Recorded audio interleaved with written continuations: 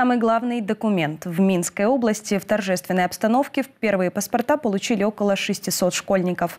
Это победители районных и областных олимпиад, лауреаты международных конкурсов и активисты. Во Дворце Республики собрались 23 школьника. Это самые талантливые и инициативные ребята со всех районов области и города Жодина.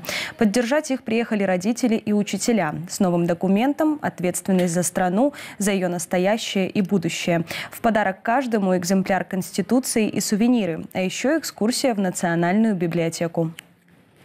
Мероприятие дало понять, как важно молодое поколение для нашей страны. Уже получаем полные свои права, и имеем вес э, в стране. Когда говорят, э, вот у нас какая-то не такая молодежь, вот надо посмотреть на этих ребят, и у нас замечательная молодежь, целеустремленная, умная, неравнодушная. И глядя на этих ребят, понимаю, что за будущее нашей страны в более отдаленной перспективе можно не переживать, потому что э, такие ребята точно не подведут нашу страну.